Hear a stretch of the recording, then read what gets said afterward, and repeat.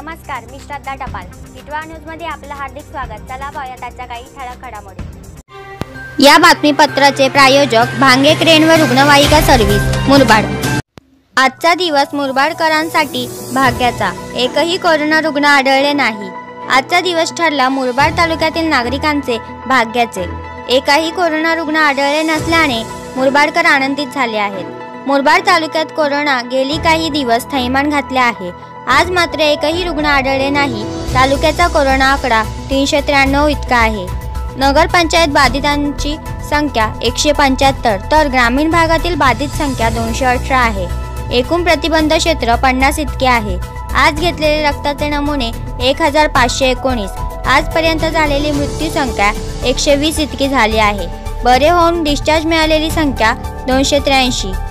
उपचार सुरू असलेल्या बाधित संख्या अठ्ठ्याण्णव. आज घेतलेले रक्ताचे नमुने बावीस इतके असून एकही कोरोना रुग्ण आढळले नसल्याने तालुक्यात आनंदाचं वातावरण आहे. टिटवाळा न्यूजसाठी पत्रकार राजेश भांगे मुरबाड यांच्यासह व्हिडिओ अटॅच क्षितिश टपाल. तर ह्या होत्या आजच्या काही ठळक घडामोडी. पुन्हा भेटूया याच ठिकाणी. धन्यवाद.